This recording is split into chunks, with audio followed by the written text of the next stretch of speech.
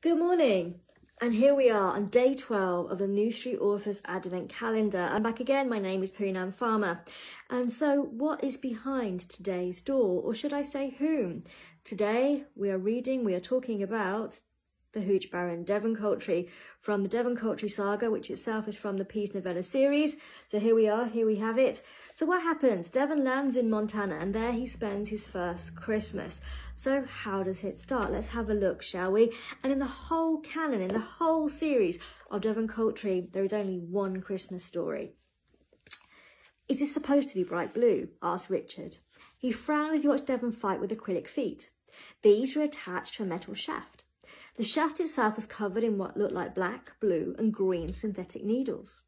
In his hands, Richard held a dozen or so of faux Christmas tree that were colour coded at the end.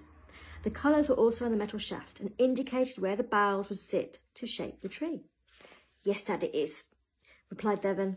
His knee clicked as he awkwardly knelt on the floor before the skeleton of his Christmas tree. Apparently, this is what a silver spruce is supposed to be like.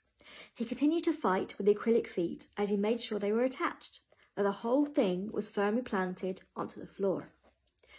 Next to Devan's feet were several more branches. Placing his hands to a couple, Devan proceeded to slot them back into the main shaft. He glanced over his shoulder and beckoned for his father to do the same. Taking the hint, Rich started to slot in the branches. Devan's father fluffed out the faux foliage. Try saying that quickly to give the spruce its famed silhouette. Slowly but surely, the tree started to fill out. It looked quite imposing by the window to the lounge. This has to be, by far, the most trippiest Christmas tree ever, commented Richard as he teased out branches.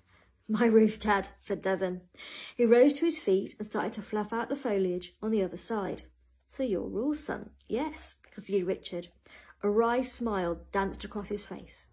You're entitled to have whatever slightly strange, off-kilter Christmas tree that you want and in the aforementioned abode. So what happens? There is turkey, there are tantrums, there is even some snow. But does Aditi, Devan's wife, turn up? Why not get your copy? I'll put the, the link somewhere in the What's in jig and get your copy of Postcards from Peace, a Devan Coultrie story from his saga in the Peace Novella series.